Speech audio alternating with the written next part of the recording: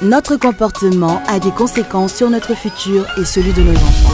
Ensemble, rendons notre ville propre.